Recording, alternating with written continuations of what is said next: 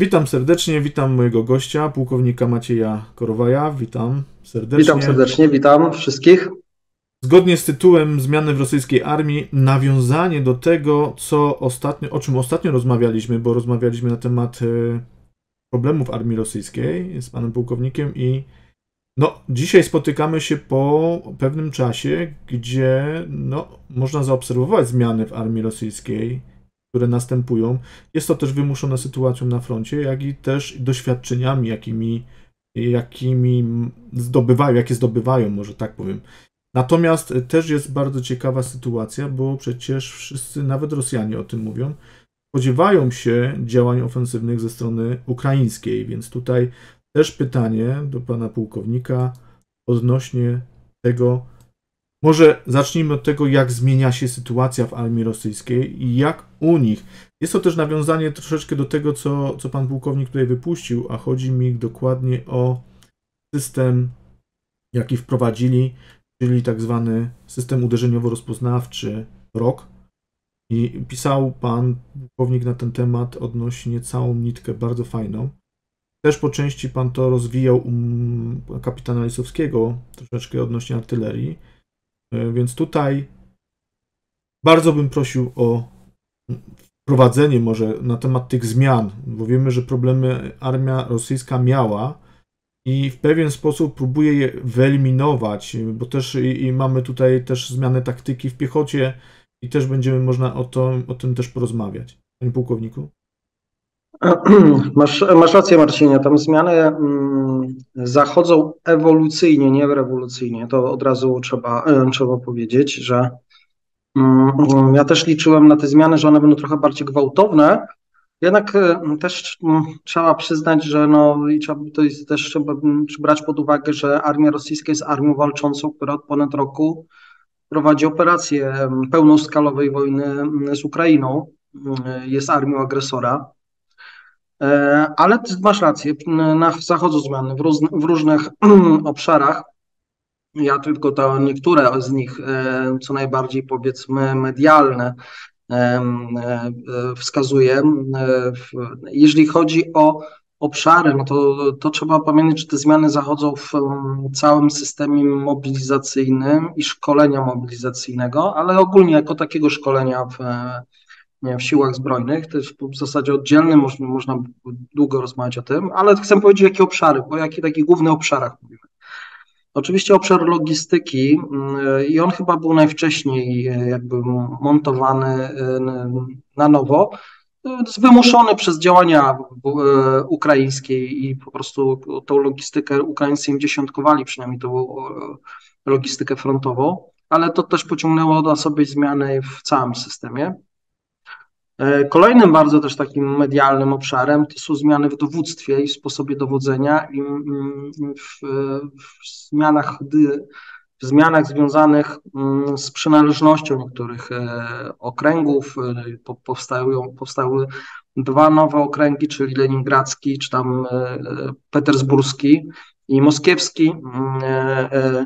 Mm, to jest odpowiedź na, e, na wejście Finlandii i niedługo, mam nadzieję, Szwecji do NATO. E, są zmiany kadrowe związane z zmienianiem akcentów, które, których miał Szojgów i on decydował o pewnych e, roszadach kadrowych, a w tej chwili takim osob, taką osobą, która decyduje o stanowiskach jest szczególnie w, w, w ramach tak zwanej operacji specjalnej na Ukrainie. To jest generał mm, Gerasimow i jego jakby, y, jakby stajnia, stajnia, że tak powiem w cudzysłowie, generałów. Kolejnym etapem, kolejnym takim obszarem to jest cały proces y, powiedzmy tego mm, zabezpieczenia technicznego jako element logistycznego, ale chodzi w zasadzie o gospodarkę i przemysł y, realizujący zadania na rzecz wojska. Tu też pewne zmiany są. No i schodząc później już do typowego wojska, e, zmiany w, e, w podporządkowaniu i wprowadzaniu takty, te, taktyki działań.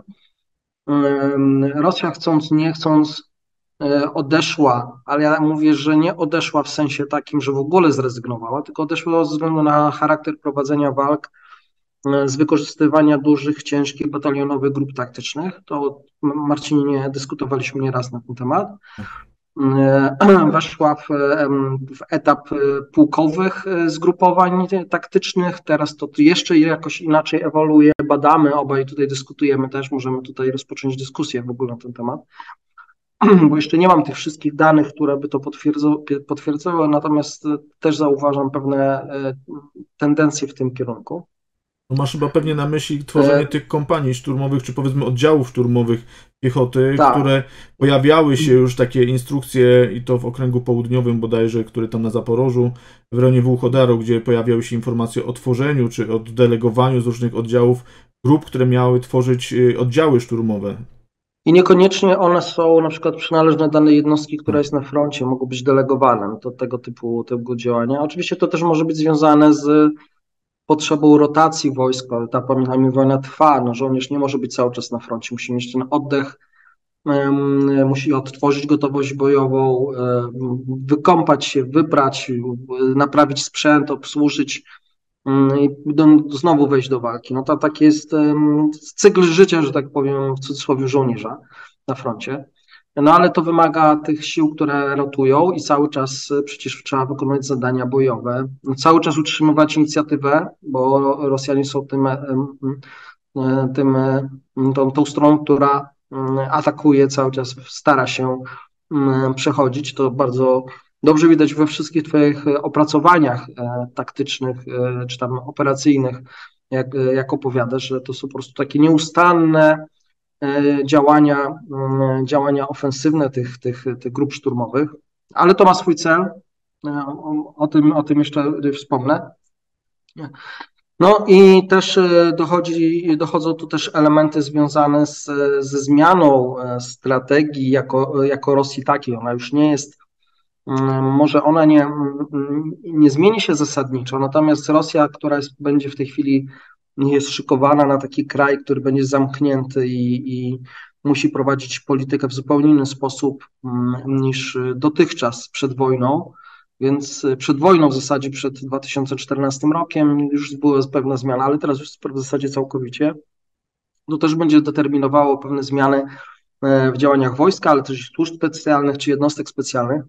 E, których ja oceniam w najbliższym czasie będą wzrastać znaczenie. Tym bardziej będą wzrastać znaczenia mm, takie elementy jak niemilitarne, czy nie mm, prywatne armie, które nie są związane na przykład z armią wojskową, z armią Federacji Rosyjskiej, a są na przykład firmami wojskowymi. No tutaj przykładem jest Wagner, ale Wagner jest najbardziej mm, może medialną... Jest więcej, jest zdecydowanie tak, więcej. Więcej. Tam są, w, w Rosji jest co najmniej kilkanaście takich y, No Gazprom ma swoją, tak. Gazprom tak. ma swoją potok, e, wiemy, że Szojgu tak. też stworzył swoją, tak. także jest Ale to Szojgu na bazie GRU stworzył. Tak, tak. Mm, więc e, tutaj tych elementów jest, jest sporo, o których można dyskutować, jeżeli chodzi o całej tym zmianie. Jeżeli byśmy się skupili tylko na wyłącznie na na, na kwestiach wojskowych, no to tutaj przede wszystkim, jak już wspominałeś, ten system e, rozpoznawczo-uderzeniowy, e, ale on de facto funkcjonował dużo wcześniej koncepcyjnie i te elementy były już mm, jako takim systemie rozpoznawczym, tylko one były rozproszone. One, one miały koncepcję być w jednym, później zostały rozczłonkowane na poszczególne rodzaje wojsk, E, radiotechnicznych, walki elektronicznej, rozpoznanie ogólnowojskowe, artyleria. E, w tej chwili jakby jest, są, jest konsolidacja w ramach tego, tej koncepcji jeszcze sprzed mm. ponad dekady w zasadzie, można powiedzieć. E, więc, więc to nie jest coś, co wymyślali na nowo, tylko jednak stwierdzili, że wchodzimy. A jest to spowodowane i też stratami, ale też i tym, że Ukraińcy no, postawili Rosjanom wysoką poprzeczkę uciekli z, to, z, tymi, z tymi rozwiązaniami, jeżeli chodzi o prowadzenie ognia artyleryjskiego do celów i kontratyjnego, poza skalę, którą Rosjanie mogą złapać. Więc ten wprowadzenie tego roku i też nie wszędzie, czyli nie, nie we wszystkich elementach, no pisałeś, że, że to nie jest na, na każdym y, nie, odcinku nie, i nie, nie w każdym oddziale, że tak powiem. Zresztą też chyba też Marcinie widać to po pracy na na froncie, że to nie każdy, nie każdy front dysponuje takimi możliwościami tak, rażenia tak. ogniowymi. Jak, jak 30% to jest mój maks, jeżeli chodzi o tego typu działania. To jest to, co powiedziałeś, bo to widać na, na filmikach, jakie zamieszczają sami Rosjanie, że to są odcinki. To nie jest e, na każdym odcinku frontu. Yy, mają więcej sukcesów na jednym odcinku, gdzieś tam sporadycznie na drugim, a to świadczy tylko o tym, jakim sprzętem w danym rejonie, yy, że tak powiem, dysponują. No, deficyt w tym względzie też dużo mówi, jeżeli chodzi o rozpoznanie możliwości i też daje jakieś światło Ukraińcom, gdzie mają Rosjanie te jednostki najbardziej wartościowe, a mhm. gdzie na, najsłabsze. I tu też możemy e, analizować e, Rosjan pod względem miejscu, gdzie, e, gdzie te elementy są najsłabsze i można wykonać uderzenie na, na, na nich w szkołą, że tak powiem, charkowską, mhm. czyli na najsłabsze elementy i po prostu pogonienie czy też e, bardzo intensywna walka z uporem, izolacja pola walki i jakby redukowanie siły ukraińskiej, redukowanie przez Ukraińców sił rosyjskich w, e, w, pasie, w pasie frontowym, jak to robiono w, w szkole, że tak powiem, hersońskiej, tak? Tam miał, była ułatwiona sprawa bo była rzeka, która jakby um, izolowała pewne elementy logistyczne od, y, od y, linii frontu. Mi się wydaje, że wracając do tej koncepcji, co, co, Rosjanom, co Rosjanie zmienili, to przede wszystkim właśnie usprawnienie system dowodzenia i usprawnienie system logistyczny, system ten rażenia ogniowego, ale też nie we wszystkich elementach. Jeżeli chodzi o logistykę, to mi się poprawiło trochę więcej niż, niż, niż tej, niż, można powiedzieć, niż zwykle. No ale chyba największy skok e, zauważam w jakości dowodzenia. Nie wiem, jak, jak ty masz e, spostrzeżenia w tym, w tym względzie. Wiesz co, no tutaj trzeba byłoby powiedzieć, że, że dowodzenie zależne jest od oficerów, tak? Nie mhm. tylko na szczeblu najwyższym, ale tym pośrednim i tym na samym dole. I o ile czasem mam wrażenie, że ci oficerowie najbliżej linii frontu, czyli frontowi, widzą problemy i przekazują dalej, to mam jeszcze czasem wrażenie, że ci dowódcy na wyższych stanowiskach nie dostrzegają pewnych elementów, albo po prostu nie chcą podejmować samodzielnie decyzji. Nie wiem, czy ich coś paraliżuje jeszcze, czy po prostu mają tam jeszcze jakieś elementy, które im pozostały, jeżeli chodzi o to dowodzenie i, i, i przekazywanie informacji dalej. Nie wiem, bo wiemy, mhm. że powstało przecież nowe dowództwo Dniepr, tak, y, na odcinku hersońskim. Ono jest wyłączone jakby tego odcinka południowego, jest osobnym odcinkiem.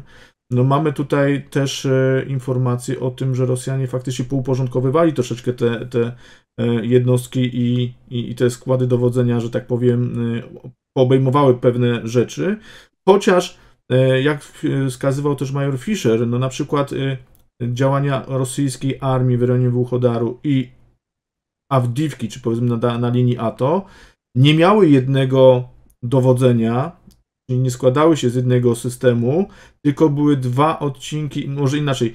E, wojska w rejonie Wuchodaru podlegały jednemu dowództwu, e, odcinek Awdiwki drugiemu dowództwu i nie było widać nawet współpracy pomiędzy tymi dowodza- e, sztabami dowodzenia tymi jednostkami, że każdy wykonywał jakby swoje działania bez, że tak powiem, konsultacji, czy nawet bez współpracy pomiędzy nimi, a przecież e, rejon jest dość blisko, a mimo wszystko nie było tego współdziałania.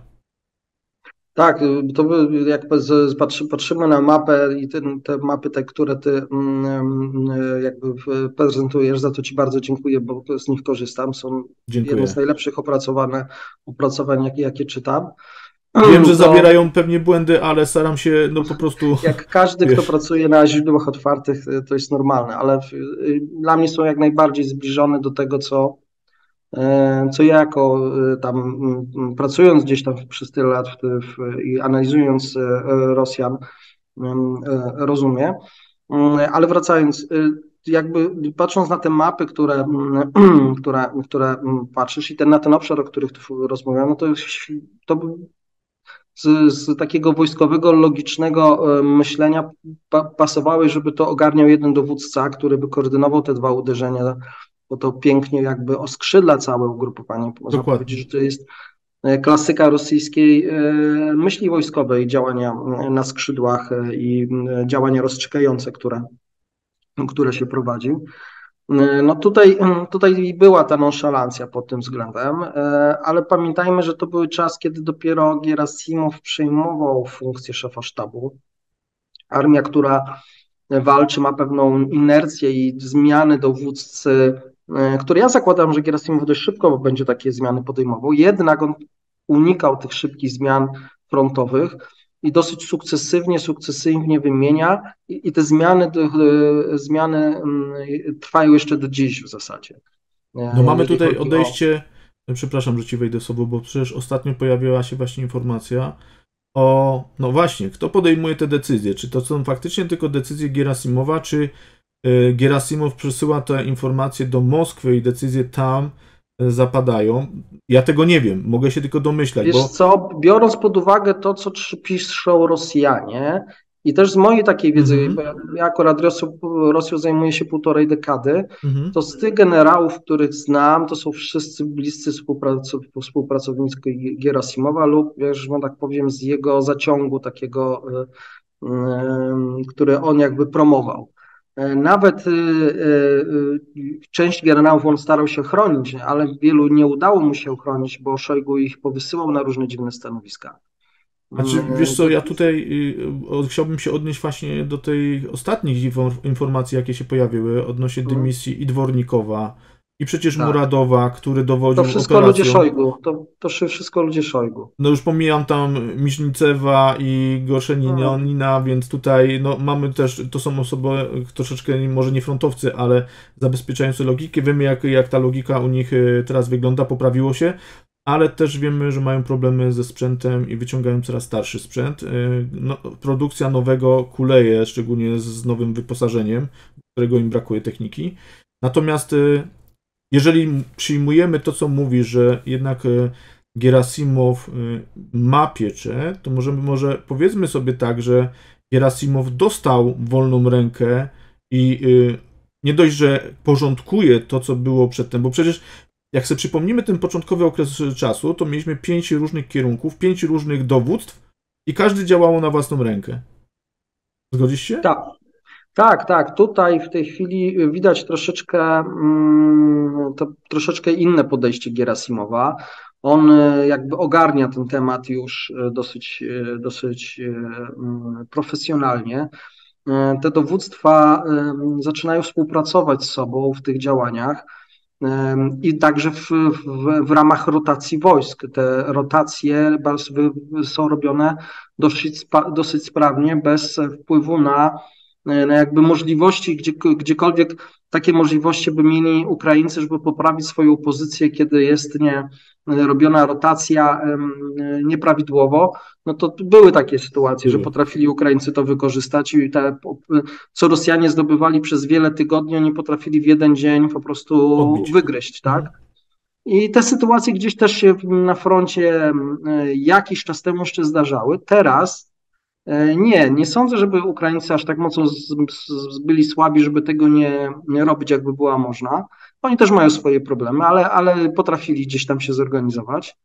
E, natomiast Rosjanie, Rosjanie no uszczelnili sobie ten, ten cały system rotacyjny i już nie dają się złapać jakby w pół kroku, co świadczy też o jakości jakby dowodzenia, takie tego, o którym brakowało. Te kierunki były poszarpane. Każdy z dowódców e, traktował swój e, kierunek jako lenno i, i feudalne, i feudalne państwo, e, więc niekoniecznie współpracował z sąsiadem, a bardziej patrzył w niektórych sprawach, jak zarobić na trofejach zdobytych.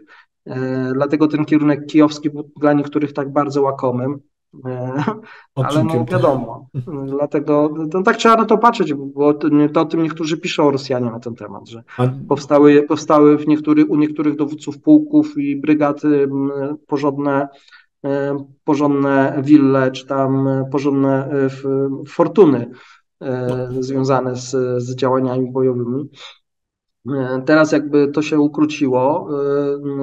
Teraz już jest trochę więcej takich dowódców frontowych, które którzy rzeczywiście, jakby powiedzieć, powiedzieć, poczęli krew i jedni się sprawdzili, jedni, jedni nie.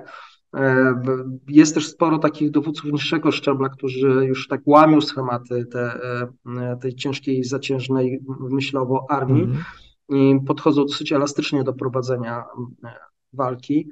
E, to są jakieś pewne jaskółki, ale moim zdaniem wiosny jeszcze w, w armii rosyjskiej z tego nie będzie. Natomiast trzeba to obserwować, bo to jest jakiś trend, który, który przy armii, która walczy e, całością swoich sił, e, potrafi bardzo szybko wyrosnąć, bo ten dobór naturalny frontu jest po prostu niemiłosiernie okrutny i e, spryt jest nagradzany zwycięstwem, a nonszalancja po prostu e, błotem i krwią. Tak, taka jest prawda. Dokładnie. E, więc tutaj, tutaj armia rosyjska, mimo tych swoich problemów, znając swoje deficyty, ale też i, i możliwości, potrafi, potrafi się zorganizować w pewnych obszarach, więc co, co widać, tak. Znaczy on, y, nie wiem czy dobrze ci powiem, ale analizując y, kampanię czy wojny z przeszłości y, Rosji, czy to carskiej, czy nie carskiej, armia rosyjska zawsze miała tendencję do tego, że nawet przegrywając kampanię potrafiła się odtworzyć i przejść do ataku i wygrać wojnę nawet. Więc tutaj nie można skazywać armii rosyjskiej na klęskę. To, że ona dzisiaj wygląda tak, jak wygląda, to nie znaczy, że te zmiany w tej armii nie zachodzą bo, bo naprawdę te pewne zmiany widać gołym okiem, choćby coraz większa liczba filmików pokazujące, pokazująca e, niszczenie artylerii czy innych rzeczy na tyłach frontu, z czym strona ukraińska ma coraz większy problem. Pomijam fakt też i, i pewnej nonszalancji ukraińskich żołnierzy, którzy może poczuli się troszeczkę zbyt pewnie, może też i, i brak doświadczenia, chociaż ciężko to ocenić, bo przecież no, pojawiają się te filmiki z trafionych y, y, pojazdów, krab, czy mamy też no, przykład samego kraba, który przy y, wozie amunicyjnym zostaje trafiony, prawda? I, I nikt nie zadbał o to, żeby jednak w sumie to zrobić trochę inaczej, prawda? Tutaj właśnie to też jest bardzo ważne, mm, mm, mm, bo jest coś takiego, co Rosjanie są, są dobrzy, Ukraińcy jeszcze lepsi, jak komunikacja strategiczna.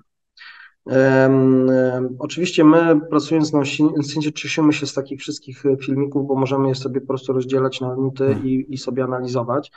Natomiast one też są, trzeba wziąć sobie to pod uwagę, że one są robione w ramach pewnej koncepcji informowania strategicznego. Mhm.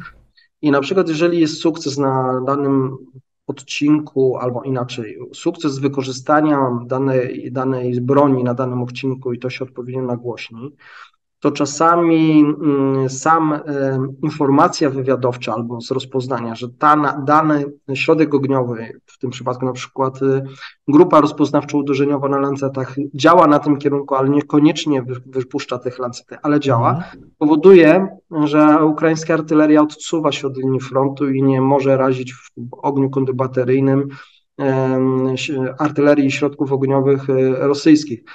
Nie wy, ale widzisz, wykonaniem jednym porządnym działaniem, które zostało nagrane i później mm, jakby wypuszczone w sieć, o których w tej chwili dyskutujemy, mm. to nie zmienia faktu, że oni coś takiego mają, e, ale robią efekt kaskadowy, e, tak. który zwiększa jakby zasięg, e, zasięg medialny wpadający po prostu w informacje e, dowódców brygad e, ukraińskich, że coś takiego no, musimy pokazuje na, na ich odcinku. Zupełnie inaczej wtedy artyleria ukraińska pracuje, musi zachować odpowiednie dystanse. Dokładnie. E, ale w momencie, kiedy u, u Rosjanom zależy rzeczywiście coś upolować, to potrafią przemieścić tak skrycie te elementy, i upolować właśnie Ukraińców, którzy z, z, założenia twierdzą, że akurat na ich odcinku nie działają mhm. E, lancety, nie polują na artylerię i na inne środki, bo też rozpoznawcze, tak. czyli radary i inne elementy.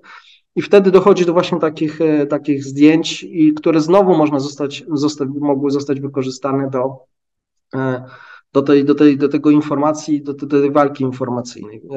Informacja jest też narzędziem, który można korzystać. Im bardziej wiarygodna w tym kontekście, E, i w tym kontekście, który mówiłem, użyta, e, robi o wiele większą e, no robotę. bardzo skuteczna. To, to, to tak. tak. to jak jednak informacja idzie w świat, może, może podziałać to dość, dość mocno i w bardzo dobrym kierunku. I tu Rosjanie nic nie, nic nie produkowali, po prostu pokazali jak tak, jest, tylko że, tak. tylko że odpowiednio to później nagłosili. Dokładnie. Takie pytanie odnośnie mm, zmian w samym działaniu rozpoznawczym. Dlaczego? Dlatego, że pojawiła się informacja na temat dużych problemów ze specnazem. Nie wiem, czy czytałeś artykuł The Washington Post, mhm. gdzie mm, na analizie wywiadowczej oraz dokumentacji satelitarnej wywnioskowano, że jednak w ciągu tego roku, ponad roku działań na Ukrainie, Specnaz poniósł ogromne straty, z czego trzy brygady poniosły straty rzędu 90 do 95%. Przynajmniej tak jest no, tam. No, Rosjanie mówią, że straty wojsk specjalnych sięgają 70%. No to jest bardzo dużo, bo to jednak jest e, no, bardzo mocny cios, bo to w sumie E, tutaj wracamy troszeczkę do tego w sumie wątku z e, pewnym generałem rosyjskim, który przeciwstawiał się przecież wykorzystywaniu wojsk WDW. Troszeczkę odbiegam od tematu, ale dlatego, że, że te jednostki specnazu też były wykorzystywane jako zwykła piechota. One miały całkiem inne zadania, a były wykonywane, wykorzystywane do innych zadań. I tutaj też jednostki WDW też dzisiaj działają jako no, elitarna piechota, ale jako piechota, prawda? Nie do końca tą myślą. No wiadomo też, że no wiemy, czym się zakończył Hostomel dla, dla wojsk e, czy specjalnych, czy specnazu, czy też i WDW. I też poniosły pod Kijowem dość spore straty. Na Hersoniu też ponieśli dość spore straty, ale to z winy może tego, że jednak były źle wyko wy wykorzystywane przez dowódców? Oczywiście. Sami Rosjanie piszą, że WD, WDW, e, czyli mhm. Wojska Powietrzno-Desantowe, były i nadal niektórzy uważają, że są źle wykorzystywane.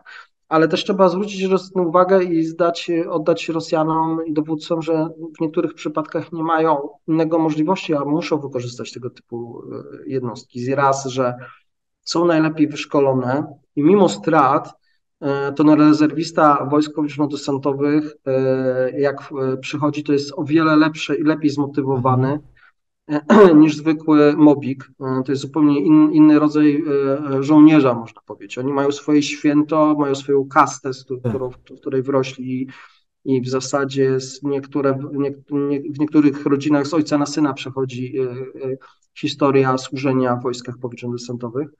No to jest bardzo specyficzne i ciekawe, i ciekawe doznanie rozmawiając z tymi ludźmi. Y, ale też trzeba powiedzieć, że WDW to jest jedyna formacja jako całość, czyli y, przed wojną liczyli, liczyło około 40 paru tysięcy, z tego co pamiętam. Mhm. To jest jedyna formacja, naprawdę bardzo dobrze zarządzana. I wyobraź sobie, Marcinie, że mm, y, to jest formacja, która od ponad dekady, do 2011 w zasadzie roku, korzysta na, od Plutonu do dowództwa najwyższego z BMS-a, czyli z systemu hmm. walki. On się nazywa Andromeda D. Nie wiem, czy słyszałeś. No, obiło mi się uszy. Tak, i to jest jedyny naprawdę funkcjonujący system BMS w, w, w Wojskach Federacji Wojskowej. Oczywiście są inne tam mhm. BMS y, i te kaskady, jakieś tam inne różne dziwne rzeczy, E, one były wprowadzane w wojska lądowe, ale tam dwie maksymalnie brygady dysponowała tym, tym systemem. Natomiast WDW dysponuje od ponad dekady i rozwija to cały czas, czyli mhm. w, 2000, w 2011 roku, z tego co na wprowadzenie, to już zobacz ile czasu, czyli mieli czas, trening, treningi e, do wszystkich i ten system po prostu jest pracującym realnie bojowo systemem e, zarządzania polem walki. I to daje tak naprawdę te wyszkolenie plus dostęp i świadomość operacyjna dla żołnierza WDW na każdym poziomie walki dawała, e, dawała, e, dawała tą przewagę.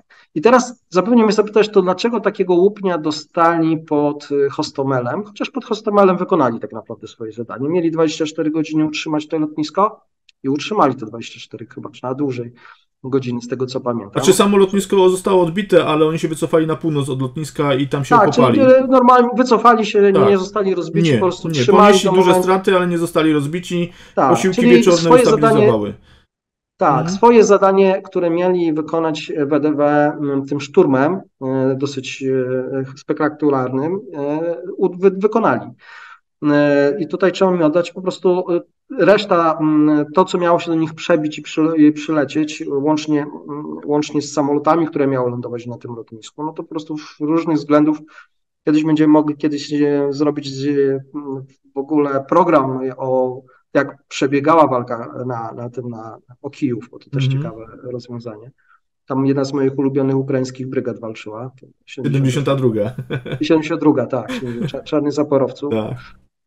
E, e, Tamże, także te, one, one zostały wykorzystane mimo posiadanego tego systemu, ale oddzielone od swoich głównych sił, czyli były przydzielone do sił ogólnowojskowych, które tego systemu nie, ba, nie miały i musiały zejść jakby do tego poziomu niższego. Do tego poziomu niższego tak. i przez to, przez to dostawały strasznego łupnia, bo one dzięki właśnie tej świadomości, elastyczności, morale potrafiły zask zaskakiwać, a tutaj musiały po prostu zetrzeć się pancerz w pancerz zdeterminowanym rosyjskim obrońcą.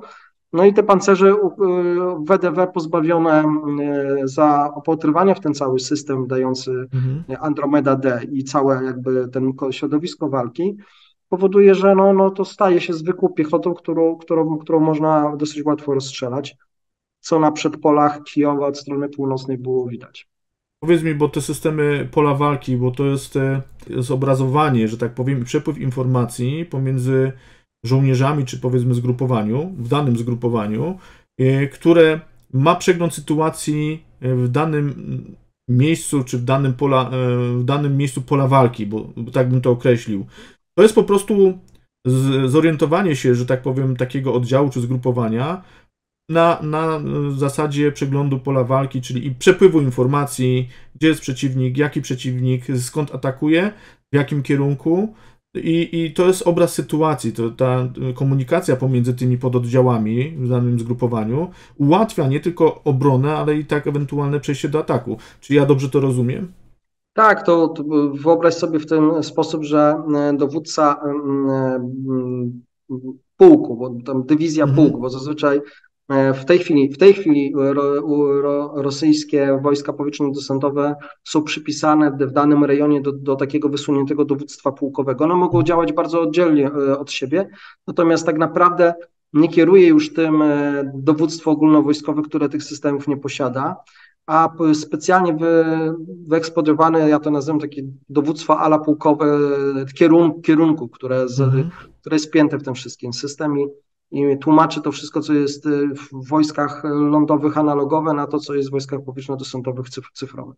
No rozumiem. I tutaj i tutaj dowódca taki posiadający informacje o celach może zdecydować, czy podejść już całym ugrupowaniem bliżej punktów oporu przeciwnika, czy jeszcze pracować na ich, na ich osłabianie, osłabianie mhm. czy, czy, czy ewentualnie dokonać, wybrać rejon, gdzie będzie najbardziej mu wydajnie wykorzystać swoje siły i środki, a jeszcze do tego skoordynować to z działaniami innych e, elementów, jak walka elektroniczna, jak e, artyleria e, rakietowa, lotnictwo.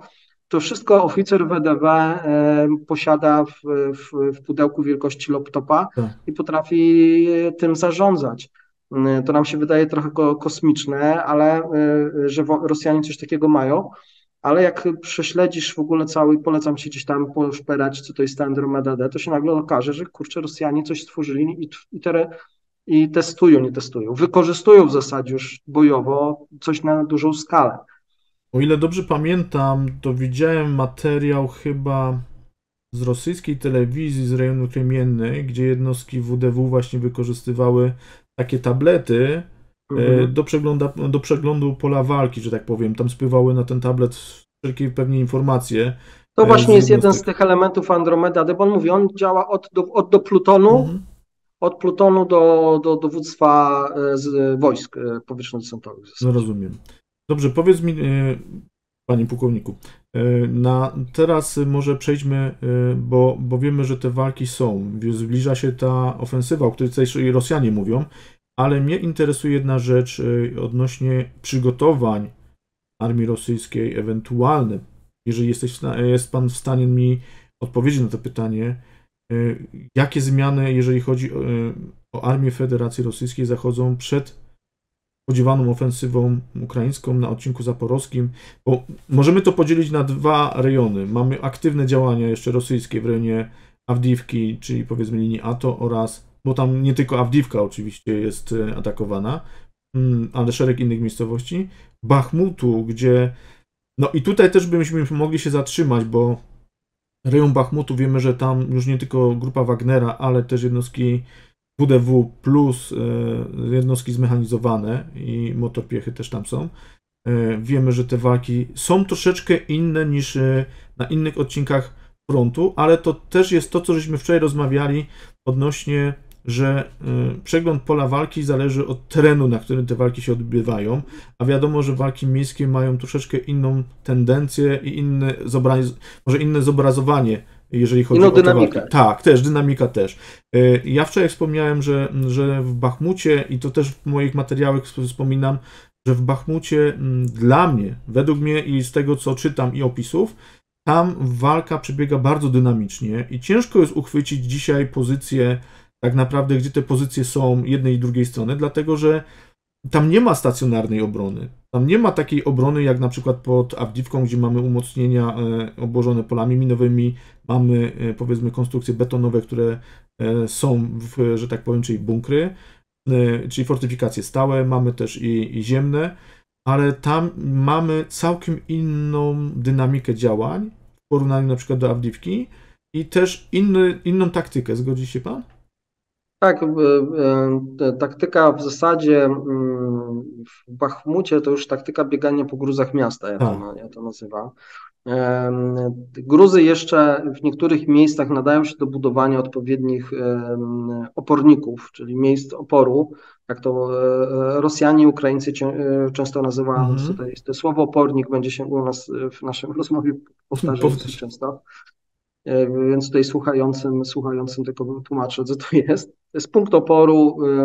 Naj, najczęściej to jest kompanijny, podzielony na, na, na odpowiednie sekcje, w których plutony realizują, realizują. Jest dosyć szeroki. Na rogach zazwyczaj są umieszczone te punkty ogniowe, które prowadzą, tak mówię bardzo ogólnie, bo to nie zawsze muszą być rogi, ale on, on ma taki kształt, jeśli Y, jeżeli krawędzie okopu przyjąc y, jako granicę kształtu, to można powiedzieć, że jest skrzydła motyla i dlatego tak się to czasami nazywa opornik typu motylkowego. Mniej więcej tak to jest zrobione w centrum. Jest to ten główny obszar bunk, bunkier schron, który obszar najbardziej jakby broniony. E, I mniej więcej w takim stylu jedna i druga strona e, prowadzi. Zresztą ten, ten, te, te oporniki tego stylu są, nie są jakimś nowym wymysłem, to jest jeszcze z II wojny światowej, z tak. tego co pamiętam. E, tutaj Tobie Marcinie oddam pałeczkę, możesz tam powiedzieć, bo ty historią się trochę więcej interesujesz.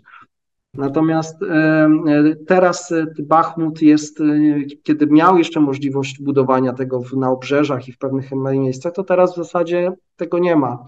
E, Ukraińcy z jednej strony mają dobry wgląd, bo te wzgórza na zachód od Bachmutu e, dają im możliwości e, rozpoznawcze i rażenia ogniowe. Z kolei, z kolei Rosjanie mają te zagięte skrzydła i, i też mają możliwości rażenia ogniowego. Mhm. Jednak druga strona na tych, na tych cegłach nie może za dużo wystać, więc są jedni albo drudzy są przeganiani i mówić o jakimś linii frontu przechodzącą przez Bachmut y, jest dosyć ciężko. Raczej można powiedzieć, te miejsca, które są jeszcze w miarę przydatne do, y, do, do budowania schronów i utrzymywania pozycji, ale tak naprawdę sam Bachmut od jednej krawędzi wschodniej do drugiej krawędzi wschodniej można uznać za swego rodzaju szarą strefę, jak to też Rosjanie nazywają gdzie te mm, walki i pozycje poszczególnych plutonów czy sekcji walczących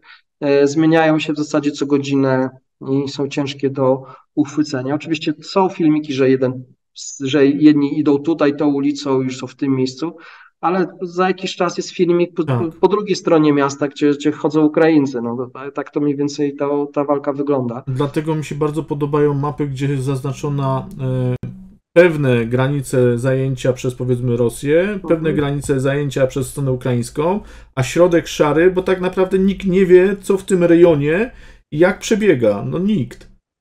Słuchaj, y, przyjmuje się w zależności od terenu i że taka martwa, czy tam martwa, y, y, szara strefa, czy też można jeszcze powiedzieć teren ziemi niczyjej, chociaż O. to też nie jest, nie można powiedzieć, że teren ziemi niczyjej, bo tam od czasu do czasu ktoś jest. Ktoś jest, tak.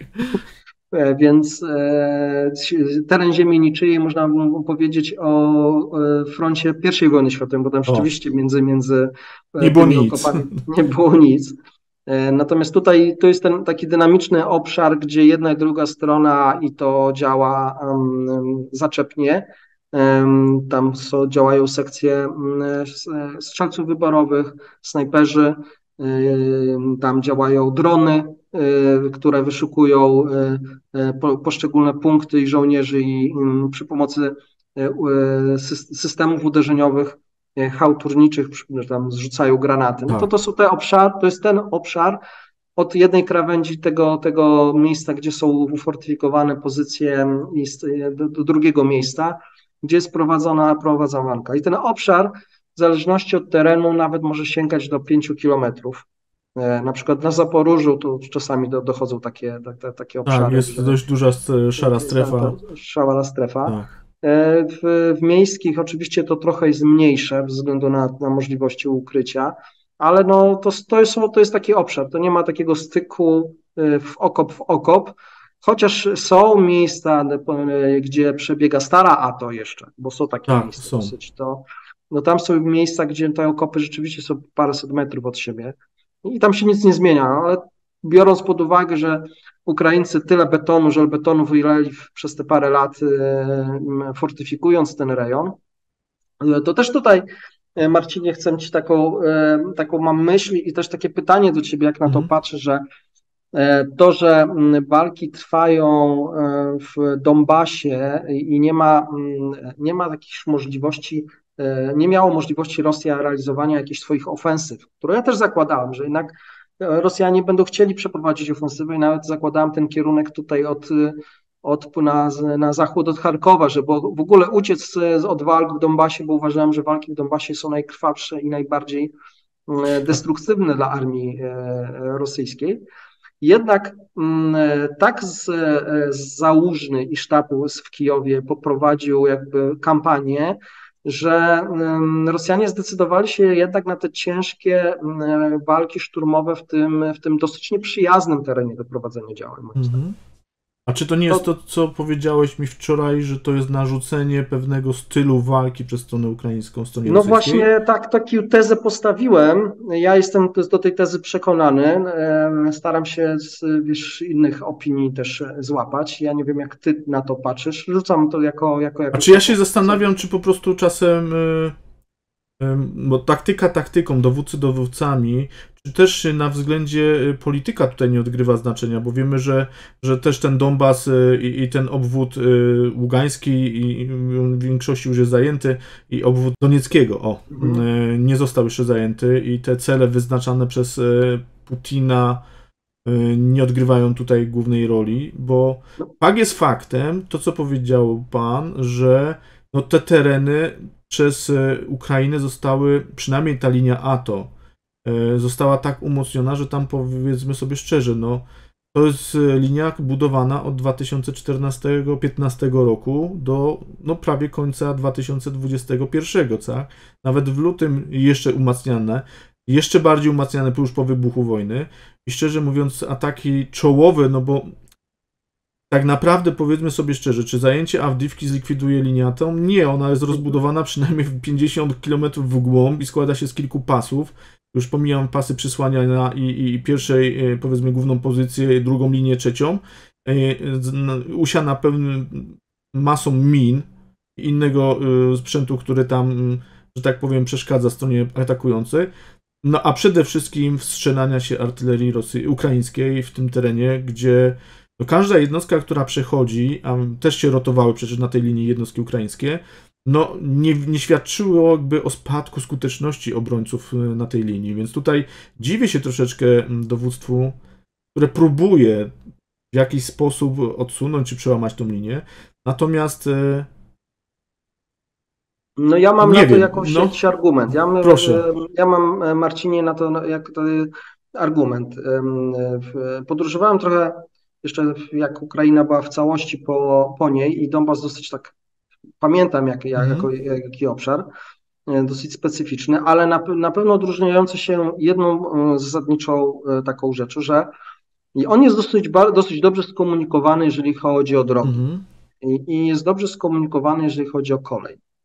E, zarówno teraz mogę powiedzieć, e, bo jeździłem po całości, więc znam jakby jedną i drugą stronę, e, więc zarówno po tej stronie ukraińskiej obecnej frontu, jak i po stronie mm, rosyjskiej, to jest obszar dający jednej i drugiej stronie bardzo duże możliwości manewrowe, dofrontowe i rokadowe do manewrowania wojsk.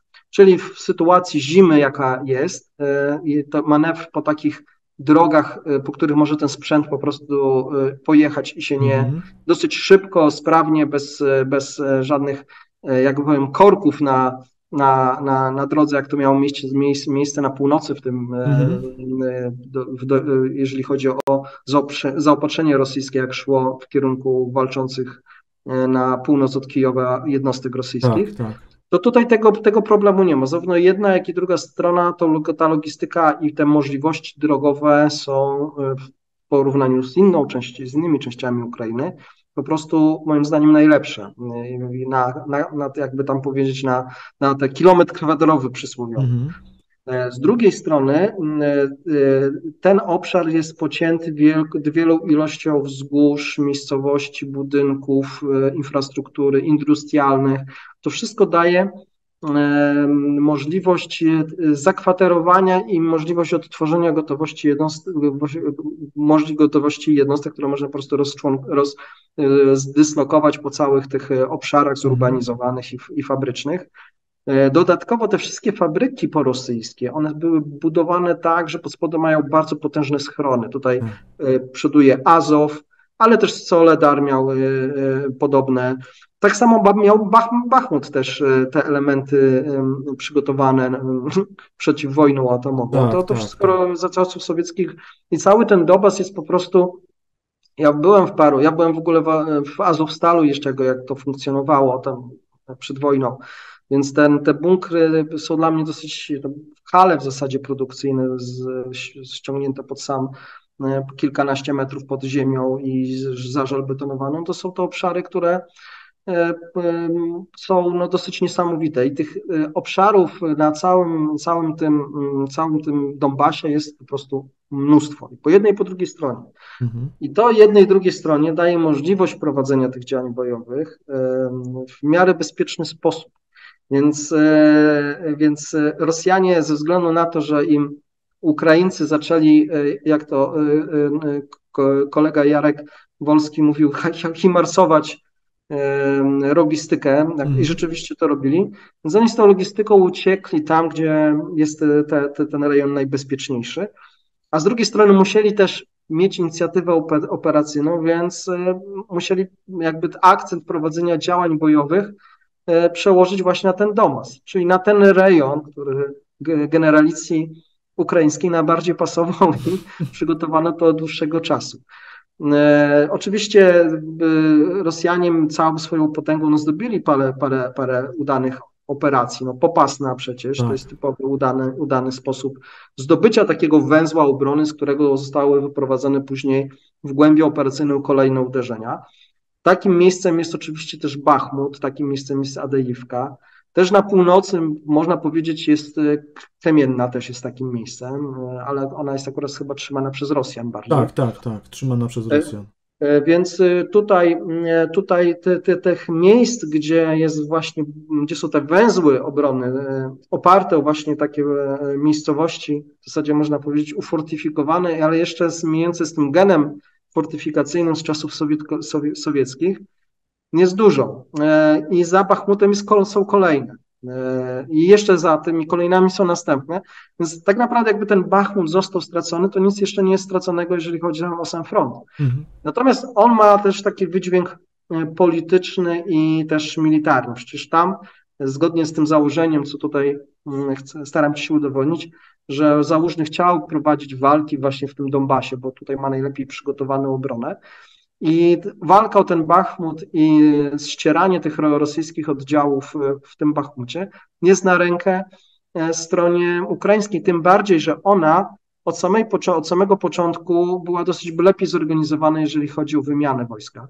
Oczywiście tam no. też są jakieś problemy mniejsze, większe, ale na tle Rosjany to, to, to są po prostu y, niebo a ziemia.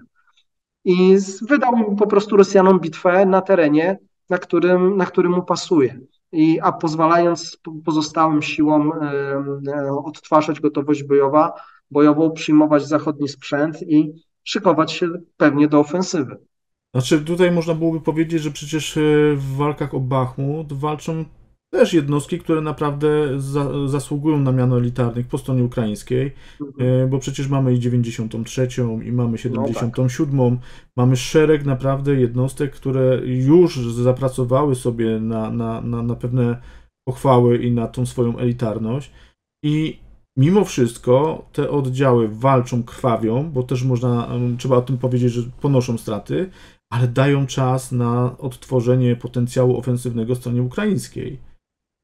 No ja uważam, że tu jest walka na deficyty jednej i drugiej strony. Mhm. Kto będzie miał ich więcej i wykorzysta drugiej strony te, te deficyty, no to wygra to, to, wygra to wojnę. Ja uważam, że bliżej zwycięstwa są Ukraińcy, ale mogę się jeszcze mylić, ponieważ te zmiany, które obserwuję, no tak mm, obserwuję dosyć wnikliwie po stronie rosyjskiej, no tak idą dosyć, dosyć sprawnie, szczególnie po zmianie dowództwa na całą operację, którą przejął Gerasimów. To takie ostatnie pytanko. Mm, niech mi pan powie, panie pułkowniku, jak pan widzi ewentualną ofensywę, znaczy odpowiedź rosyjską na tą odpowiedź powiedzmy na odcinku zaporowskim, bo to możemy się na razie bawić w sumie tylko w gdybanie, no bo chodzi mi o to, czy, czy będzie stan, e, Armia Federacji Rosyjskiej, e, jej dowództwo przede wszystkim, reagować na tyle sprawnie, żeby podjąć działania hamujące takie działania, czy zadać nawet klęskę armii ukraińskiej?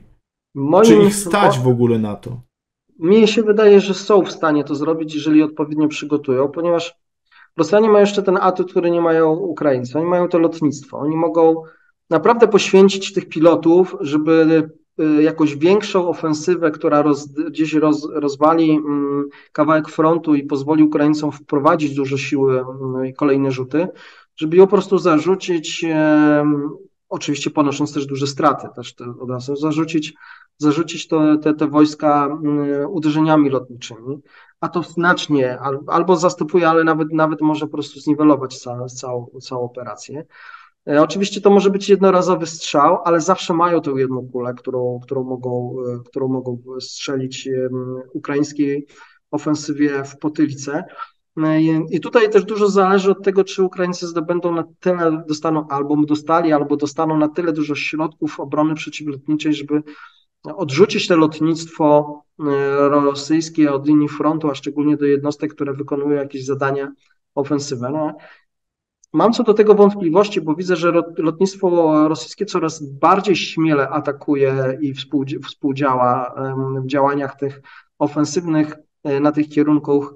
Widać już. E, no w rejonie Awdiwki udało się uzyskać panowanie tak, okresowo. Tak, tak. Czyli, czyli coś im się udało, tak? Czyli już wiedzą, jak to robić i i czy, wiedzą, to też zasługa, czy to też zasługa tej zmiany taktyki, o której ostatnio mówiłem y, i której tutaj strona ukraińska podała przykład e, próby prowokowania obrony przeciwlotniczej, żeby później y, dzięki namierzeniu y, tej punktowej obrony ją zniszczyć i uzyskać przez to zniszczenie tej tarczy antydostępowej dla lotnictwa, tak? Tak, tak, no to jest podstawa, ale to też trzeba pamiętać, że nasycenie takich środków, które, do których Rosjanie nie mają już dostęp, żeby je zniszczyć, mm. no, tych ręcznych wyrzutniów przeciwlotniczych, no to e, krót, bardzo krótkiego zasięgu, no to jednak te muszą latać powyżej tych 5 mm. kilometrów wzwyż, żeby się bronić przed tymi środkami, a nawet i więcej, bo bo nasze pioruny troszeczkę wyżej potrafią latać. Tak, ja tu chciałem jeszcze dorzucić, bo przecież taka próba użycia lotnictwa, żeby zahamować ofensywę ukraińską, była e, pod Bałakłają, gdzie się e, Ukraińcom udało przełamać front i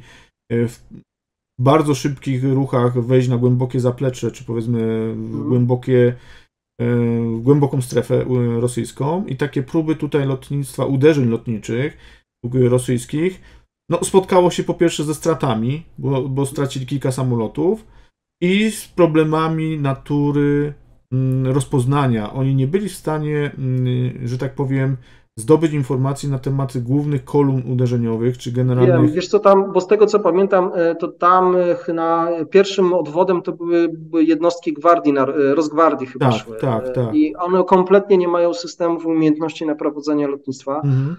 Lotnicy atakowali w ciemno, tak. rosyjscy.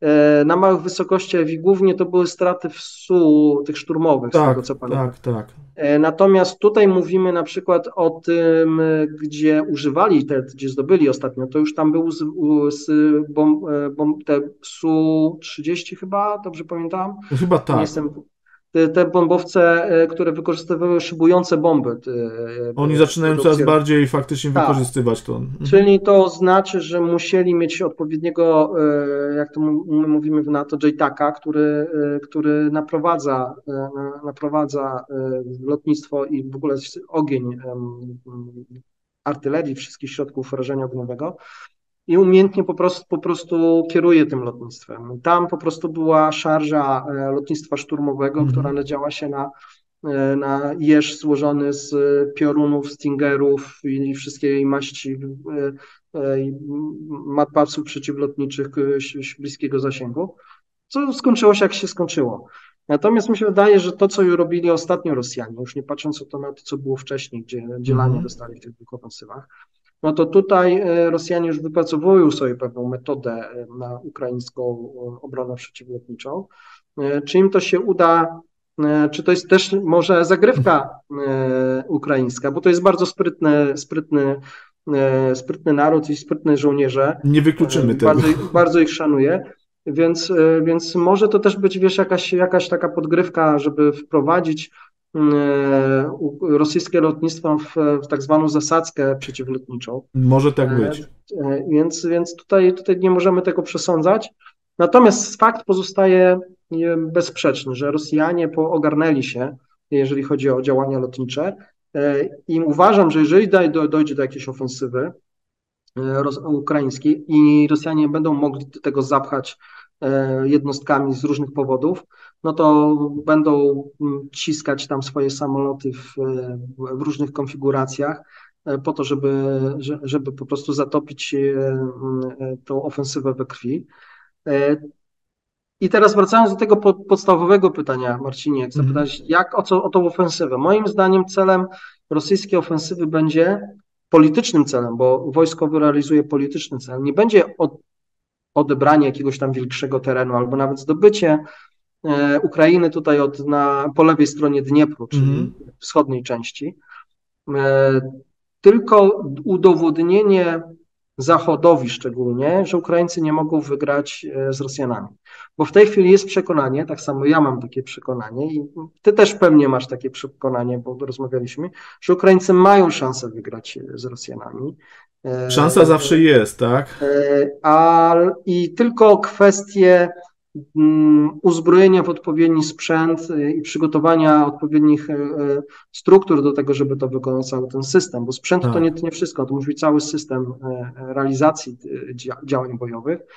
I jeżeli Ukraińcy mają ten system, a wierzę, że mają, i ten system jest o wiele lepszy od tego, co Rosjanie mogą w tej chwili mieć na, na każdym miejscu, bo w niektórych miejscach mają, jak tutaj rozmawialiśmy tak. wcześniej, całkiem niezły no to uważam, że jeżeli znajdą Ukraińcy odpowiedni moment i miejsce, żeby, jak to powiedzieć, brutalnie przywalić, to przywalą, żeby pokazać, że rzeczywiście my wygrywamy z nimi w polu i dawajcie nam koledzy z zachodu jeszcze więcej sprzętu, bo ich trochę pogonimy z naszego terytorium.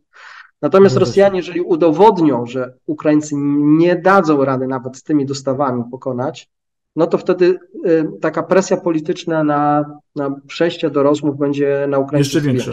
Mhm. Mhm. Dobrze. Zgadza się. Też się. W sumie spotkałem się też z taką nitką i, i, z takimi informacjami, że nie teren będzie najważniejszy dla strony ukraińskiej, ale wyniszczenie armii rosyjskiej w boju.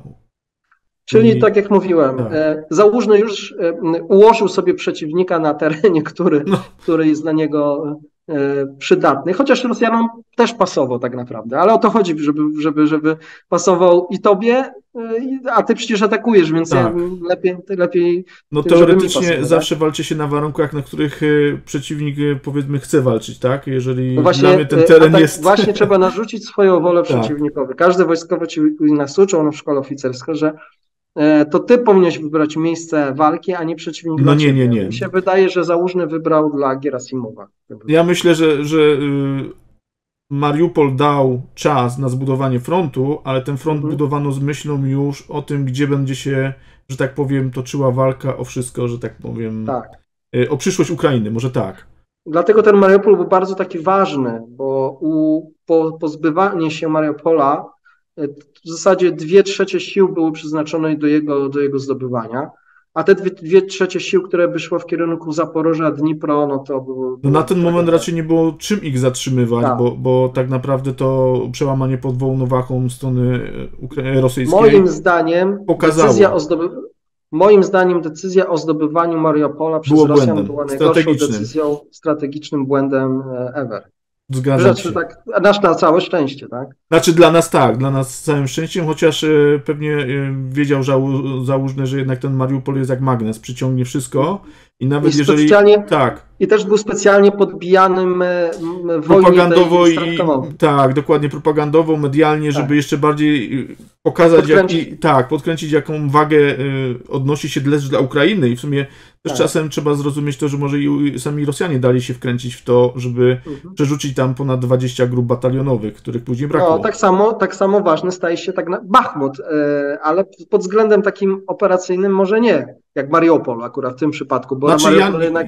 Ja bym tutaj się zastanawiał, czy Bachmut e, nie ma na celu wykrwawiania tych najlepszych sił, które Rosja ma. Bo, bo tutaj no, tam nie walczą byle e, żołnierze, bo nawet ci żołnierze z grupy Wagnera, e, czy skazańcy, którzy byli, bo pamiętajmy, to, to grupa Wagnera, owszem, zwerbowała tysiące różnych więźniów, ale tym trzonem przede wszystkim grupy Wagnera to byli, byli żołnierze, komandosi jednostek specjalnych, żołnierze z GRU, gdzie naprawdę to doświadczenie wieloletnie już z różnych operacji i, i ze służby, no naprawdę procentowało w tej grupie. Tak, to, to, to prawda. No, to jest też e, jeden z tych celów, co cały czas mi uświadcza, że e, Ukraińcy specjalnie sobie jakby e, przygotowali teren do, do przyszłej walki. Czyli wszystkie te, te rzeczy, o których i, i, te, i te fakty, o których mi tu Marcin mówisz, no jakby utwierdza mnie w mojej tezie, którą tutaj. Ale ja jestem z, tylko zwykłym analitykiem, jeżeli chodzi o, o Sintowicem, więc w sumie grzebaniem informacji niczym więcej. No, Pan pułkownik... Słuchaj, to jest bardzo, bardzo przydatna i unikatowa umiejętność. No, Unikalna. Ja, jest takich wielu jak ja, więc. Dobrze. Panie pułkowniku, bardzo dziękuję za wywiad, e, za analizę, tym bardziej e, analizę armii rosyjskiej, e, bo ją prowadzi Pan cały czas i generalnie no, dzięki Panu, bo jest Pan jednym z niewielu osób, które poświęca swój czas na to, żeby analizować przeciwnika. I powtórzę to, co już powiedziałem. Szkoda, że mm, pewne struktury nie korzystają z tej wiedzy, nasze, polskie. Natomiast y, no, tutaj wielki ukłon z Pana stronę, bo robi Pan świetną robotę i dzięki Panu jesteśmy też bogaci o tą drugą stronę. I ktoś mi zawsze zarzuca na kanale, że to jest kanał proukraiński. Tak, w pewnym sensie jest proukraiński, ale to nie znaczy, że y, nie pozbawia mnie tego, żebym patrzył też w drugą stronę, tak? I, i zaglądał Y, po drugiej stronie frontu na to, co dzieje się po stronie rosyjskiej. Ja też y, bardzo, bardzo cenię sobie Ukraińców, bo mówię, pracowałem też z nimi i z wielu tam mam kolegów, niektórzy już są na froncie. Ja mam też informacji, co tam z nimi, to też tak troszeczkę dziwnie. Także też jestem za narodem, który został napadnięty i się broni. W zasadzie broni się przed eksterminacją jako, jako państwo. Ukraina tak. to jest dosyć młode państwo, ale z bogatym duchem i trzeba, trzeba i walczy o tą swoją, o tą, o tą swoją niezależność kosztem właśnie tej krwi, którą, którą, którą, która spływa w Donbasie. Mm, no, trzeba im pomagać. Ja mam nadzieję, tymi moimi analizami im też pomagam, ale też pokaz, staram pokazać się nam, Polakom tutaj, że tak naprawdę armia rosyjska nie jest taką armią, jaką się czasami kreuje w mediach, a jest armią, która ma swoje wady, ale też potrafi wykorzystać zalety a to jest potencjalny nasz przeciwnik i, i, ja będąc żołnierzem, bo żołnierzem, mimo że jestem na emeryturze, to zawsze się jest. Jest się, jest, to, to w, staram się po prostu tego przeciwnika analizować i, i aż, że to robię już, robiłem już całe swoje wojskowe życie, więc to tylko teraz w tej chwili to jest dla mnie dla przyjemności. Panie pułkowniku, bardzo dziękuję jeszcze raz za wywiad, e, bardzo dziękuję za Pana analizę i bardzo Wam wszystkim dziękuję. Kłaniam się dziękuję nisko. słuchającym, pozdrawiam ich serdecznie, również Marcinie Tobie dziękuję. Bardzo pozdrawiam. dziękuję. Pozdrawiam.